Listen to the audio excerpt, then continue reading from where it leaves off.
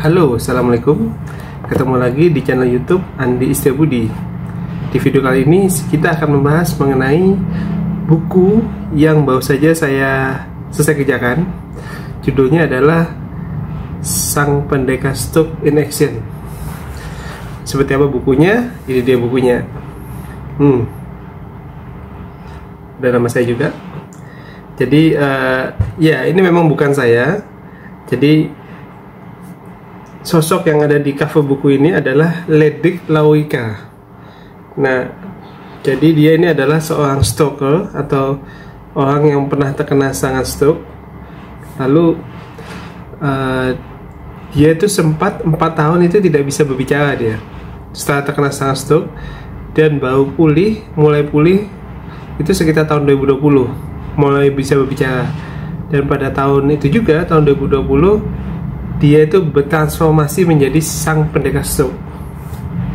Nah, buku ini yang teman-teman lihat ini, yang baru saja saya, saya, saya selesai kerjakan ini uh, adalah buku kedua dari seri Sang Pendekar Stroke. Jadi sebelumnya juga ada buku yang membahas tentang uh, Lady Klawika, yaitu buku ini. Ini teman-teman, saya tunjukkan. Nah, ini juga buku yang ditulis oleh saya juga Judulnya Ledik Lawika Sang Pendekar Stroke. Buku ini dirilis tahun 2023 dan ada jumlah halamannya itu 108 halaman buku pertama ini. Dilengkapi oleh foto, foto juga, dua foto, sejumlah foto, fotonya berwarna juga dalam buku ini. Nah, ini kalau di buku ini lebih banyak membahas mengenai uh, perjalanan hidup dari sosok Lady Claudia dari dia uh, lahir dibesarkan sekolah lalu apa sukses di bidang industri pariwisata hingga akhirnya dia terkena stroke dan kemudian bertransformasi menjadi sang pendekar stroke. Teman-teman pasti bertanya kenapa dinamakan sang pendekar stroke? Nah kalau teman-teman penasaran teman-teman mesti baca nih buku ini karena di buku ini dijelaskan semuanya nih. Tuh. Ini dia nih.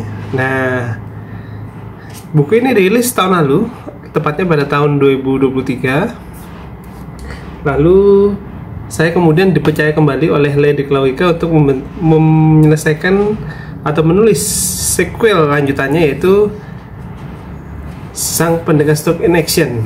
Ini buku keduanya nih. Tuh. Nah, ini buku yang yang ini itu lebih tebal. Hmm. Jum, kalau tadi jumlah halamannya 108. Nah, kalau ini 182.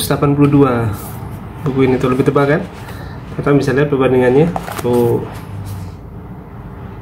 Nih, enggak, betul. Lebih tebal yang kedua nih.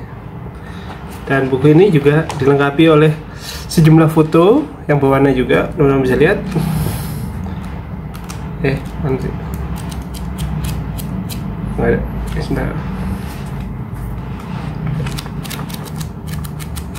Oh, beberapa fotonya juga. Nah jika buku pertama yang ini lebih banyak membahas tentang perjalanan hidup eh, masa-masa Lady Claudia terkena stroke menjadi pengobatan dan pemulihan. Nah, buku kedua ini, maaf, ini itu lebih bercerita tentang aktivitas hal-hal unik yang dilakukan oleh Lady Claudia sebagai seorang stroker atau orang yang pernah mendapat uh, serangan stroke, tapi hal-hal yang dilakukan ini unik dan menarik. Bahkan ada beberapa yang bisa dibilang uh, tidak lazim, tapi menarik untuk disimak dan dibaca karena uh, sangat inspiratif bagi kita semua tidak hanya bagi teman-teman yang mungkin juga sesama stalker tapi juga yang orang pada umumnya juga masyarakat pada umumnya juga uh, cocok membaca buku ini. Dan disajikan dengan uh, bahasa yang ringan tidak berat sehingga yang membaca buku ini tidak perlu khawatir harus pusing memikir yang berat-berat. Karena buku ini dikemas dengan bahasa yang ringan menyenangkan ceria. Makanya teman-teman bisa lihat nih covernya juga lebih lebih ceria ya. Warna biru ceria dibanding cover pertama. Cover pertama emang lebih serius nih bukunya tuh. Nih teman-teman.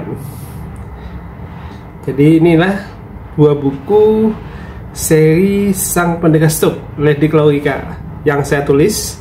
Ini tahun 2023 dan ini tahun 2024 nah teman-teman nah bagi teman-teman yang tertarik untuk membaca buku ini atau memiliki buku ini lebih tepatnya ya bisa uh, pesan di uh, nomor berikut di bawah sini.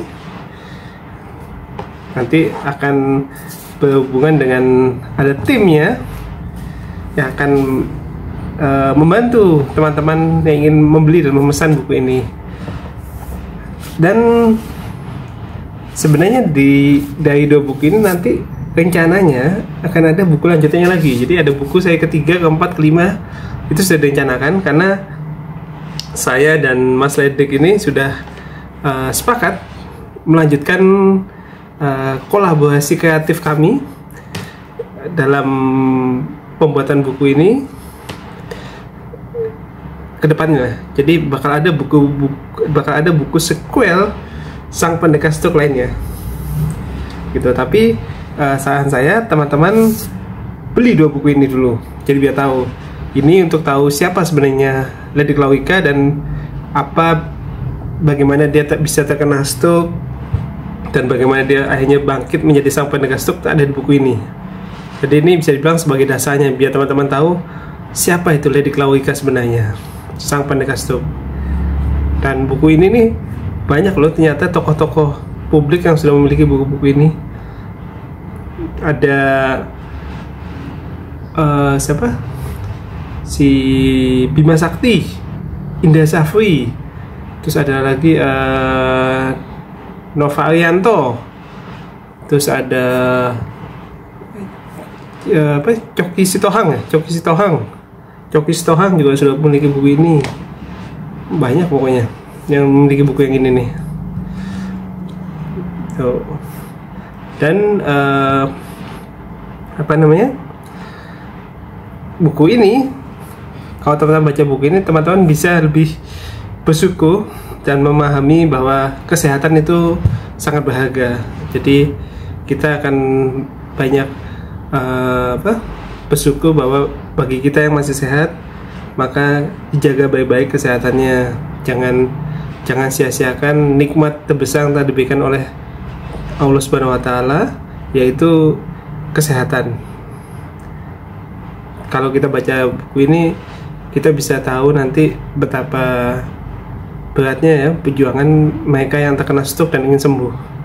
Jadi mumpung kita masih sehat, yuk kita jaga kesehatan minimal menerapkan pola hidup sehat. Jangan merokok, jaga pola makan. Jaga apa? Waktu istirahat. Jangan tidur terlalu jangan sering tidur terlalu malam. Dan yang paling utama adalah berpikir positif terus berpikir positif dan jangan banyak pikir macam-macam. Itu yang utama. Karena di buku ini juga um, Mas Dedik juga memberikan sejumlah tips ya bagaimana untuk hidup sehat dan mengurangi risiko terkena stroke. Buku pertama. Nah tapi kalau yang buku kedua teman-teman bisa mengetahui bagaimana stroke itu bukanlah akhir dari segala-galanya terutama bagi mereka yang terkena stroke. Jadi uh, di buku ini uh, Mas Tedik menunjukkan bahwa walaupun dia stroke dirinya tetap bisa berkaya, kreatif dan tidak kalah dengan masyarakat uh, yang masih sehat lainnya. Ini teman-teman. Tertarik untuk memiliki dua buku ini? Teman-teman? Dan teman-teman bisa memesannya di nomor yang ada di bawah ini. Tadi belum muncul nomornya, nah sekarang ini muncul di sekarang nih di bawah ya. Di nomor sekian ini. Oke. Okay. Bisa dihubungi via WA dan maupun via telepon. Demikian penjelasan tentang buku saya dan uh, kita akan membahas tentang hal-hal lain seputar dunia literasi, buku, menulis di video-video berikutnya. Terima kasih sudah menyaksikan video ini. Assalamualaikum warahmatullahi wabarakatuh.